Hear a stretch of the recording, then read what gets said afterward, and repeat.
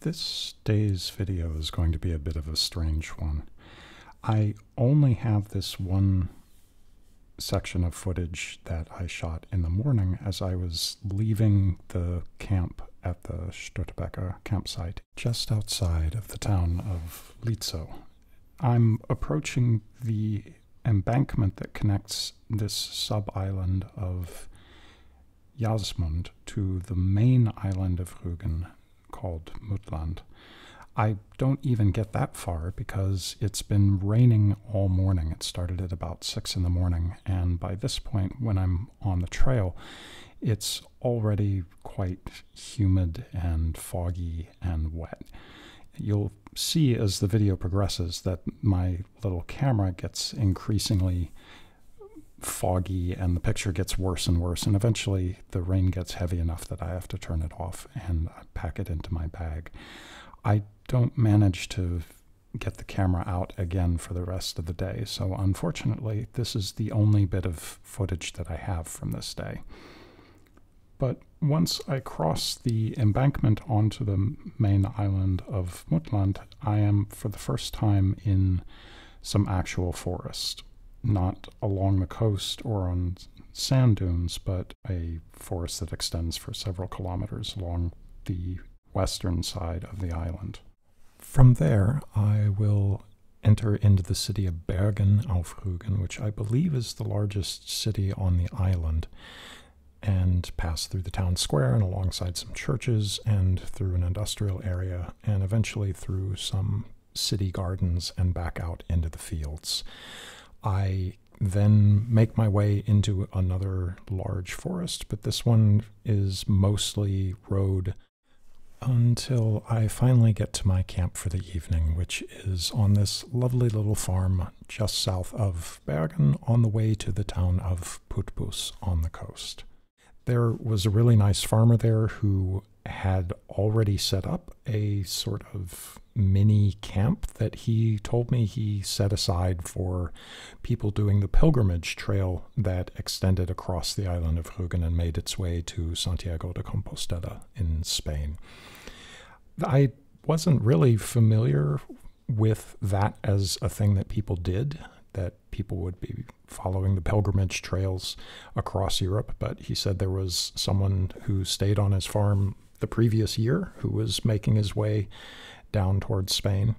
So it does happen from time to time, just seems to take place outside of at least of my notice.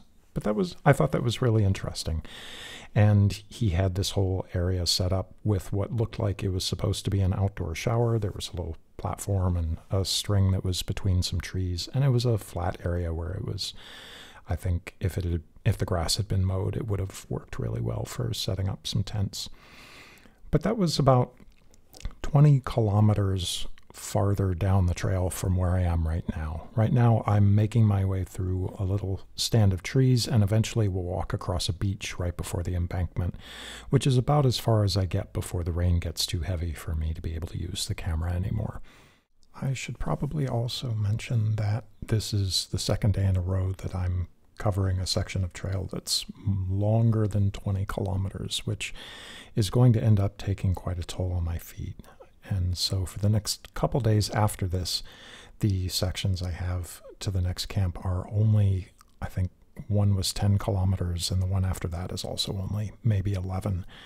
It turned out after hiking this trail that there were a number of reasons why that's the case. I have learned in the interim that my boots for this hike were too tight and were also not really the right kind of shoes for this kind of hiking. I also really overloaded my pack. I think at the start of the hike it was 23 kilograms, which is, I think, close to 50 pounds, maybe a little more. It's way too much for this kind of hiking. It's too much, I think, for just about anything except mountaineering or some larger expedition, but for a week long hike where I'm mostly just walking along roads, it's way too much. And the amount of wear that put on my feet ended up accumulating. By the end of this hike, when I make my way into Stralsund, my feet are really hurting and are covered in blisters. It was bad. But for now, I'm still doing okay. I'm going to be tired by the end of this day by the time I get to the farm, but I will have lots of time to sit and rest up my feet before the next day. And like I said, the day after this is quite an easy hike, so I had plenty of time to recuperate. I think this is just going to be something that I learn over time as I make small improvements to my gear loadout. The next longer hike that I went on after this one was the Forststeig about a month later. That's one of my favorite hikes in Germany. It's about about 100 kilometers in a loop around the German Czech border south of Dresden. And by that point, a month later, I had a lighter backpack that was also because it was smaller had less room for stuff. So i ended up not overloading it quite so badly. I think i managed to shave five kilos off of my total pack weight which is a really considerable reduction in weight.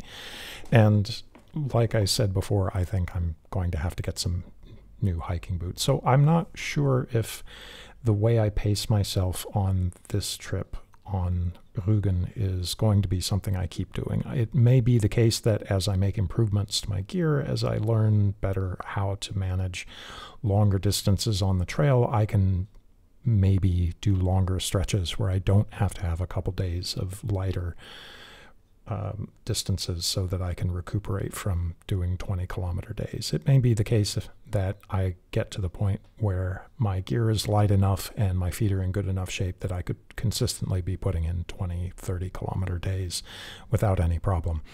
But that's going to have to be something that we see about in the future. Like I said, for now, I'm still hiking using a very heavy pack and very heavy boots. I'm still kind of thinking in this old fashioned style of how you hike trails that I'm gradually learning to unlearn. So we'll see how it goes. But for now, I'm doing mostly okay. It's still only about 8 in the morning at this point, and I have about six, maybe seven hours of hiking left ahead of me. It's going to rain for the next couple hours, but I think by the time I get to the town of Bergen, that clears up, and then it's sunny and nice for the rest of the day until I get to camp.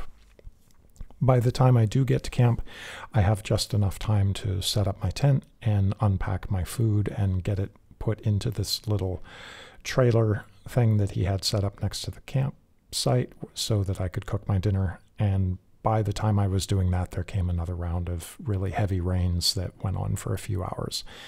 But by the end of that, once the rain cleared up for the evening, there was a really lovely sunset and it was really peaceful and pleasant to watch. So I spent a lot of time just sitting in the little trailer eating my dinner and just looking out at the sunset. I posted a couple pictures of that on my on my Substack blog too that you can see if you want.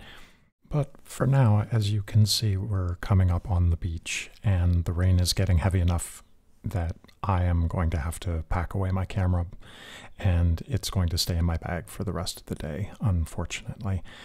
So this is going to be the point where I will wrap up this video. I will probably not be able to post another of the days from my hike on Rügen until the new year.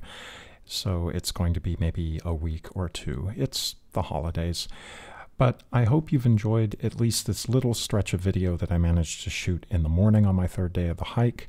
I will be continuing to post updates as best I can.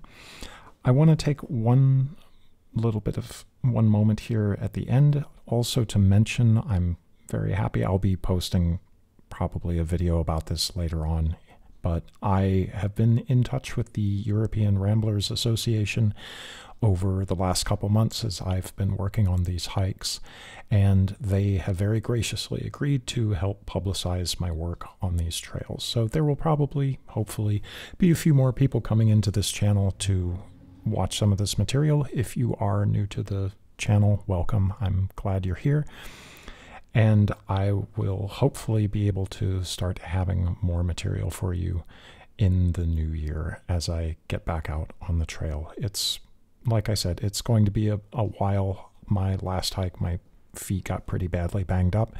So I am recuperating and soon, hopefully in the next couple weeks, I'll be able to get myself a new pair of hiking shoes and I'll start going out on some shorter day hikes, probably in early January. I also am planning on doing a longer section of the E10 in March. If everything goes well, I'll be in good shape that I can make an attempt at maybe about a two week long hike through Austria. I'm really looking forward to that. But that's another scale of difficulty up from what I'm doing here. So it's, again, it's going to be a building process and a learning process for me as I figure out how to do this stuff. It's not something I ever really trained to do before, so a lot of it is very new. But that's all in the future. Um, for now, thank you for watching. I hope you enjoyed it. I would be happy to hear any comments you might have about this video or any of the others, and I hope to see you in the new year. So thank you for watching.